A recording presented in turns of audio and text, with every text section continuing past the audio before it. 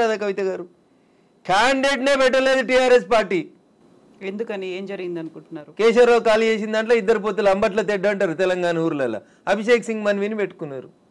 ముకుల్ రోహిత్కి రేవంత్ రెడ్డి పైసలు ఇస్తే అభిషేక్ సింగ్ మన్విని కేశవరావు కేసీఆర్ ఇద్దరు కలిసి రాజ్యసభకు పంపించారు ఇక దానికి బీజేపీ బీఆర్ఎస్ ఒకటి బీజేపీ బీఆర్ఎస్ ఒకటి ఆడొకటైంది హైడ్రాక్ సపోర్ట్ చేస్తే రేవంత్ రెడ్డి రఘునందన్ ఒకటి. ఏం మాట్లాడతారు? ఏమన్నా అర్థం పర్థం ఉందా ఏమన్నా? రఘునందన్ అనేటోడు న్యాయం దిక్కు నిలబడతాడు ధర్మం దిక్కు నిలబడతాడు గరీబోన్ దిక్కు నిలబడతాడు. Raghunandan is the voice of voiceless ఏడ కష్టం వస్తే ఎవరి కష్టం వస్తే అందుకు మాట్లాడతాడు. ఇండ్లు కోల్పోతున్నాను రమ్మనురి కోకాపేటలు ఇరవై ఐదు ఎకరాలు గవర్నమెంట్కి చేత కాకపోతే లేఅవుట్ చేసి నేను కూర్చోబెడతా. ఆడ కట్టుకుందాం పారి ఇండ్లు. గీడెందుక నాకు ఈ మోరీలలో నల్లలలో చెరువులలో ఎందుకే? మంచిగా కోకాపేటలో వంద కోట్లకి ఎకరం పోయే భూమిలో కట్టుకుందాం పారి గాడ లేఅవుట్ గీసుకుందాం పారి రాడా రేవంత్ రెడ్డి వచ్చి మనకు పట్టాలు ఇయ్యడా? దీనికోసం కొట్లాడమన్నారు కొట్లాడతాడు రఘునందన్. ఎందుకని ప్రతి దాంట్లో రాజకీయాలు ఎందుకు చూస్తున్నారు అనుకుంటున్నారు ఇప్పుడు అభిషేక్ మను సింఘ్విని కాంగ్రెస్ పార్టీ తెలంగాణ మీరు ఉన్నదే ప్రజాస్వామ్య దేశంలో. మీరు ఉండాలన్నా తినాలన్నా బతకాలన్నా ఇంకేం చేయాలన్నా మేమే ఉండాలి రాజకీయ నాయకులు. మేము లేకపోతే మీరు ఎక్కడున్నారు? ప్రజల కొరకు ప్రజల చేత ప్రజలు ఎన్నుకునేదే ప్రజాస్వామ్యం. ఆ ప్రజాస్వామ్య దేశంలో బతుకుతుంటూ అన్నిటికీ రాజకీయం వస్తుంది. ఎందుకు వస్తుందంటే రఘునందన్ మాట్లాడిండు బీజేపీ ఎంపీ ఇట్లా మాట్లాడిండు ఇంకో ఎంపీ ఇట్లా మాట్లాడిండు మీరు పెడతారు కదా బ్రేకింగ్లు. అందుకనే వస్తుంది అట్లా మేము మాట్లాడితే రాజకీయ నాయకులం కదా. ఈ వ్యవస్థ నడిచేదే రాజకీయంతో కదా తల్లి. నాలుగు స్తంభాలు అనుకుంటే ఆ నాలుగు స్తంభాలలో స్తంభం మేమే కదా. మేము మాట్లాడతాం కాబట్టి రాజకీయం అంటారు దాన్ని అట్లా. ఇప్పుడు కవిత కేసులో నెక్స్ట్ ఏం జరుగుతుంది అనుకుంటున్నారు మీరు? నేను జ్యోతిష్కుని కాదు తల్లి వకీల్ సార్ని. వకీల్ సాబే. వకీల్ గానే చెప్పమంటున్నాను. ఆ రోజున్న వకీల్ ఎట్లా ఆర్గ్యూ చేస్తారో ఆ రోజున్న జడ్జికి ఏం అర్థమవుతుంది అనే దాన్ని బట్టి జడ్జిమెంట్ వస్తుంది. సో మీ ఎక్స్పీరియన్స్లో? నేను దాంట్లో ఎక్కడ కేసు కాగితాలు చదవలేదు నేను కవిత తరఫున వకీల్ని కాదు మనీష్ సిసోడే తరఫున అంతకంటే కాదు కేజ్రీవాల్కి అపియర్ కాలేదు. బట్ కవిత బయటకు వచ్చిన తర్వాత కూడా వినిపించినటువంటి డిఫరెంట్ వెర్షన్స్ని ముందు నుంచి అసలు ఎప్పుడు ఫాలో అవ్వలేదా ఈ కేసుని మీరు? అయినా. ఎందుకు ఫాలో కాను? అడ్వకేట్గా బరాబర్ ఫాలో అవుతారు రాజకీయాలు ఉన్నవాడు బరాబర్ ఫాలో అవుతాయి ఎందుకు ఫాలో కాదు in in what way I'm concern with Kavitha's bail. Kavitha ఎవరు? లిక్కర్ కేసులో ఒక ముద్దాయి. వచ్చి ఫీజు ఇచ్చి నన్ను కేసు చేయమంటే చేద్దునో చేయకపోతునో తర్వాత. నాకేం అవసరం? నాకు ఎకడమిక్ ఇంట్రెస్ట్లో నేను చదివిన ఫైలు. దానికి కవిత కేసు తరఫున మాట్లాడాల్సిన అవసరం ఏముంటుంది? ఆమెకు వకీలు ఉన్నారు. రేవంత్ రెడ్డి గారు పెట్టిన ముకుల్ రోహిత్ గారు ఉన్నారు. కేశవరావు గారు పెట్టినటువంటి అభిషేక్ సింగ్ మన్వి ఉన్నాడు. కేసీఆర్ మాట్లాడుకున్న సోనియమ్మ ఉన్నది. వాళ్ళందరూ ఉన్నాక నా అవసరం ఏముంది తల్లి? బట్ మామూలుగా అబ్జర్వేషన్స్ అనేవి ఉంటాయి. ఉంది కదా నా అబ్జర్వేషన్ నేను చెప్పిన కదా. నా అబ్జర్వేషన్ నేను చెప్పిన కదా. కోర్టు బెయిల్ ఇచ్చింది సుప్రీం కోర్టు దానికి నేను ఎందుకు కామెంట్ చేయాలి? బట్ ఆ కేసు మాత్రం ఇంకా కంటిన్యూ అవుతుంది. బెయిల్ అయిపోయింది మాత్రం కదా వచ్చింది, చార్జ్ షీట్ కేసు నుంచి బయటికి చార్జ్ రాలేదు షీట్ ఇంకా వేసిరు. కదా చార్జ్ షీట్ వేసిన తర్వాత ట్రయల్ అవుతుంది చాలా టైం పడుతుంది. ఇప్పుడు రేవంత్ రెడ్డి గారు ఓటుకున్న ట్రయల్ అవుతలేదా ఇది కూడా గట్లే అవుతుంది గట్ల. ఇలాగే ఏళ్ళ తరబడి కొనసాగుతుంది. అట్లే అవుతుంది కదా ఈ జడ్జిలను అడగాలి మీరు ఈ ప్రశ్న నన్ను అడిగితే ఎట్లా? నేను ఆ కుర్చీలో కూర్చోలే నేను. జడ్జిలు చెప్పాలి అంటున్నా ఒక్కో కేసు పదిహేను ఇరవై ఏళ్ళు ఎందుకు సాగుతుందో మా గౌరవ న్యాయమూర్తులు చెప్పాలి. దేశంలో ఐదు కోట్ల కేసులు ఎందుకు పెండింగ్లు ఉన్నాయో గౌరవ న్యాయమూర్తులు చెప్పాలి. చెప్పాలి కదా మీకు బాధాకరమైన విషయం చెప్తా కవిత గారు. సిద్దిపేటలో ఒక ఆయనకు కేసు కన్విక్షన్ పడ్డది. పేర్లు చెప్పదు కాబట్టి చెప్తలేను. సిద్దిపేట ప్రాంతంలో ఒక ఆయనకి ఆ జిల్లా కోర్టు లైఫ్ కన్విక్షన్ ఇచ్చింది. యావ జీవిత కారాగారి శిక్ష ఇచ్చింది. ఆయన నాసంటి వకీల్ని పెట్టుకొని హైకోర్టులో కేసు ఆర్గ్యూ చేసుకున్నాడు. హైకోర్టు కేసును కొట్టేసింది. ఆయన నిర్దోషి అని ప్రకటించేసి జడ్జిమెంట్ ఇచ్చింది. జడ్జిమెంట్ ఇస్తే ఈ జడ్జిమెంట్ కాపీ తీసుకొని కోర్టు వాళ్ళు జైలుకు పోయారు ఈ జడ్జిమెంట్ కాపీ జైలుకు రీచ్ అయ్యే మూడు రోజుల ముందు ఆయన చచ్చిపోయిండు కవిత గారు. ఎలా? ఆరోగ్యం బాగలేదు చచ్చిపోయిండు. ఆరేళ్ళు జైలు నుండి చచ్చిపోయిండు కవిత గారు. ఎవరు నష్టపరిహారం ఎవరు ఇస్తారు ఆ కుటుంబానికి? కింది కోర్టు శిక్ష వేసింది. పై కోర్టు నెల రోజులలో తీర్పు చెప్తే అయిపోతుంటుండే కదా. ఈయన హాయిగా ఆరేళ్ళు ఆరేళ్ళు భార్య పిల్లలతో ఉండేటోడు కదా. ఆరేళ్ళు ఆయన జైలు ఉన్న తర్వాత కేసీని నువ్వు జడ్జిమెంట్ ఇచ్చినావు.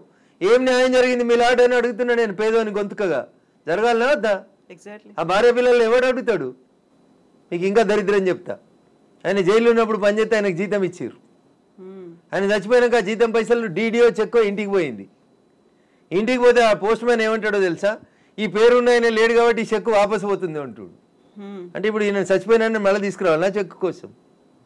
ఇది మన వ్యవస్థలో ఉన్నటువంటి లోపాలు ఇవి. వీటిని సరిదిద్దాలని ఆసంటి వాళ్ళు గొంతెత్తుతున్నాం justice delayed is justice denied అనే మాట మనం ఎప్పటి నుంచో ఈ. కేసులో ఇది ప్రత్యక్షంగా. నెల రోజుల క్రితం అన్ని పేపర్లలో రిపోర్ట్ అయింది. ఒక్కరు కూడా మాట్లాడరు దీంట్లో. ఒక పేపర్ మాట్లాడేది.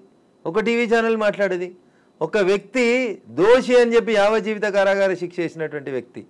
ఆరు సంవత్సరాలు జైలు ఉన్న తర్వాత ఆయన నిర్దోషి అని హైకోర్టు కేసు కొట్టేసింది. దురదృష్టం మూడు రోజుల ముందు చచ్చిపోయింది ఆయన. ఆ భార్య బిడ్డలకు ఎవరు సమాధానం చెప్తారో చెప్పుర్రి? తప్పెవరిది అంటారు ఇందులో? చెప్పురు మీరే చెప్పురు నేను మీ అంతా చదువుకోలే కదా చెప్పురు ఎవరి తప్పు? మీరే అన్నారు కదా జస్టిస్ డిలైడ్ ఈజ్ డినైడ్ అని. ఆరేళ్ళ బదులు ఈ కేసుని ఆరు నెలల్లో ఒకవేళ అప్పీల్ కోర్టు వినుండి ఉంటే ఆయన నిర్దేశాన్ని అదే రోజు ప్రకటించి ఉంటే భార్య పిల్లలతో ఐదున్నరేళ్ళు కలిసి ఉండేటోడు కదా. ఇట్లాంటి వాళ్ళు ఎన్ని లక్షల మంది ఉన్నారనుకుంటున్నారు దేశంలో? ఐదు కోట్ల కేసులు పెండింగ్లో పెట్టింది కదా కోర్టులో దేశంలో ఉన్నటువంటి అన్ని న్యాయస్థానాలలో ఐదు కోట్ల కేసులు పెండింగ్ ఉన్నాయి నేను రెండు చేతులు జోడించి మా గౌరవ న్యాయమూర్తులందరికీ కూడా మిలాట్ అని చెప్తాం ఓ కనబడే దేవుడా అని చెప్తాం. అయ్యా కనబడే దేవుళ్ళారా? ఇట్లాంటివి డిస్పోజ్ చేయండి అంటున్నా. మాట్లాడిండ్రి అంటున్నా. మాట్లాడక మౌనమునులాగా ఉంటే మౌనంగా ఒక మౌనంగా ఉన్నటువంటి ఒక మేధావి యొక్క మౌనం ఈ దేశానికి దరిద్రం చేస్తుంది. అరే మీరు పెద్ద పెద్ద చదువుకున్న వాళ్ళు మిలాడ్ అంటున్నాం మేము మిమ్మల్ని. మిలాడు కనబడే దేవుడా అంటున్నాం. ఆ కనబడని దేవుడు న్యాయం చేస్తాడో ఏడగారు ఈ కనబడే దేవుడిని న్యాయం చేయమని అడుగుతున్నాం కదా. చెరువులు కుంటలు కబ్జా చేసిన వాళ్ళని ఉరి తీయాలని చెప్పారు కదా జడ్జిలు. స్టే ఎట్లు ఇస్తారు? స్టేటస్కో ఎట్లా ఇస్తారు? ఇప్పుడు ఐదు కోట్ల కేసులు అంటే ఒక రాష్ట్ర జనాభా కంటే చాలా ఎక్కువ. అన్ని కేసులు అందులో ఉన్నారంటే అంతమంది బాధితులు కూడా ఉన్నారు. వాళ్ళ ఫ్యామిలీ మాట్లాడారు కవిత గారు ఈ దేశంలో? ఏ పేపర్ అన్న టీవీ అన్న మాట్లాడుతుంది? ఎందుకని బయటికి రావు ఇవన్నీ? అంటే కోర్టుల గురించి మాట్లాడితే ఏదో అవుతుందని భయపడతారు అట్లా ఖచ్చితంగా కదా ఎక్కడో ఎక్కడో ఎక్కడో ఎక్కడో ఎక్కడో ఒక్కడు ఒక్క అడుగుతోటి మొదలు పెట్టాలి. అది నేను మొదలు పెట్టాలనుకున్నా మొదలు పెడతా ఉన్నా. మాట్లాడాలి కదా ఎవరో ఒకరు. ఈ గొంతే కదా అందాక వినబడాల్సింది కోర్టుల దాకా. అందుకనే మాట్లాడుతా ఉన్నా. చట్టం తెలిసిన ఒక వ్యక్తిగా మాట్లాడుతా ఉన్నా. శిక్ష పడితే నాకు ఒక్కరికి పడనీరు కానీ ఎవరికైనా న్యాయం జరగాలి కదా. కోర్టు ధిక్కారం కింద వస్తుంది ఇది కోర్టు ధిక్కారం నేను ఎందుకు అదే కదా భయపడేది. ఎవరన్నా జడ్జిని నేను ఏమన్నా పేరు పెట్టి తిట్టినా ఇప్పుడు? వ్యక్తిగతంగా మాట్లాడినా జడ్జిమెంట్ మీద మాట్లాడినా అన్యాయ మా సిద్దిపేట వాడు నా పార్లమెంట్లో నా ఓటర్ ఒకరికి అన్యాయం జరిగింది. నేను మాట్లాడకపోతే ఎంపీ ఎవరు మాట్లాడతారు కవిత గారు? బరాబర్ నేనే మాట్లాడతా. పంపితే పంపని జైలుకి ఏమవుతుంది. పంపని తల్లి భయపెట్టేది ఏముంటుంది ఇంత ఐదు కోట్ల కేసులు పెండింగ్లో ఉన్నాయి అనుకున్నప్పుడు ఫాస్ట్ ట్రాక్ కోర్టులు రావాలి ఇంకేదో. ఫ్యామిలీ కోర్టు రావాలి. వచ్చినాయి, court అనుకున్నప్పుడు వచ్చింది, track సరి- court వచ్చింది, అన్ని court- సరిపోవట్లేదా ఇవన్నీ? సో ఓపెన్గా చట్టం తెలిసినటువంటి ఒక వ్యక్తిగా కోర్టుల గురించి ఈడ మాట్లాడడం కరెక్ట్ కాదేమో కవిత గారు. ప్లాట్ఫామ్ వచ్చినప్పుడు తప్పకుండా మాట్లాడతారు. సాధ్యమైనంత స్పీడీగా జస్టిస్ రావాలి. మీకు ఒక ఉదాహరణ చెప్తా తల్లి. ట్రంప్ అమెరికా అధ్యక్షుడు ఉన్నప్పుడు లైంగిక ఆరోపణలు వచ్చినాయి. లేదా బిల్ క్లింటన్ ఉన్నప్పుడు వచ్చినాయి అనుకోండి. అమెరికాలో ఆయన అధ్యక్షుడు ఉన్నప్పుడే ట్రయల్ అయిపోతుంది కేసు అక్విటల్ అని అవుతుంది కన్విక్షన్ అని అవుతుంది. ఈ దేశంలో ఒక్క కేసు అన్నట్లు అయిందా కవిత గారు? రేవంత్ రెడ్డి గారు ఓటుకు నోటు కేసు ఎప్పటి తల్లి? రెండు వేల పదిహేనో పదహారు. ఇలా ఏడున్నాం? ఇరవై నాలుగులో ఉన్నాం. ఇంకెప్పుడు అవుతుంది అది? మీ పిల్లలు పెద్దోళ్ళ ఈ స్కూల్ కోడ్ అందే కాలేజీకి పోయినాక అవుతుంది ఉమ్. ఈ మాట్లాడాలా వద్దా నేను? నిజంగా మాట్లాడు. మాట్లాడొద్దా? నిజంగా మాట్లాడే. మాట్లాడుతున్నాను మరి మాట్లాడితే బాధ ఎందుకు? వంద మంది నిందితులు తప్పించుకున్న ఒక్క అమాయకుడికి శిక్ష పడొద్దు అనుకున్నప్పుడు ఐదు కోట్ల మందిలో బోల్డ్ అంత మంది వాళ్ళ అమాయకులు అయ్యి ఉంటారు కదా. వాళ్ళ ఫ్యామిలీ మెంబర్స్ ఉంటాయి కదా. ఏళ్ళ తరబడి కోర్టులో పెండింగ్లు అనేవి ఉన్నాయి అనుకున్నప్పుడు who has to pay that? మీరు ఆయేషా మీరా కేసు ఆయేషా మీరా కేసు విన్నారనుకో. ఎగ్జాక్ట్లీ అవును సత్యంబాబు ఎవరినో ఒకరిని కన్విక్షన్ చేసిరు పంపించేసిరు అంతా అయిపోయింది. ఆరేళ్ళు ఎనిమిదేళ్ళు వాళ్ళ అమ్మ తిరిగి తిరిగి తిరిగి చెప్పులు అరిగినాయి కాళ్ళు అరిగినాయి అన్నీ అరిగినాయి. ఆఖరికి సత్యంబాబు నిర్దోషాన్ని హైకోర్టు విడుదల చేసి నష్టపరిహారం కూడా చెల్లించారు. చెల్లించారు. అంటే ఏంది? మీ ఇష్టం ఉన్న వాళ్ళని జైలు ఎత్తారు మీ ఇష్టం ఉన్న వాళ్ళకి శిక్ష ఎత్తారు మీకు నచ్చితే నష్టపరిహారం నచ్చకపోతే శవాలను ఇంటికి పంపిస్తామంటే ఏంది కవిత గారు? అది కూడా చాలా జవాబుదారితనం లేదా?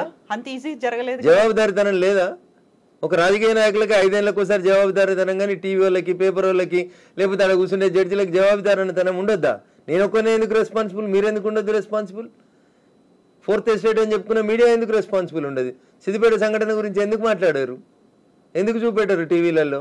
ఈ హృదయ విదారకర సంఘటనలు చూపెడతానన్న జడ్జిల మనసు కరుగుతుందని ఎందుకు అనుకోరు మీరు? వాళ్ళకి తెలియదు అంటారా ఇలాంటి జరుగుతున్నాయి అనేది తెలియదనే కదా ఇప్పుడు?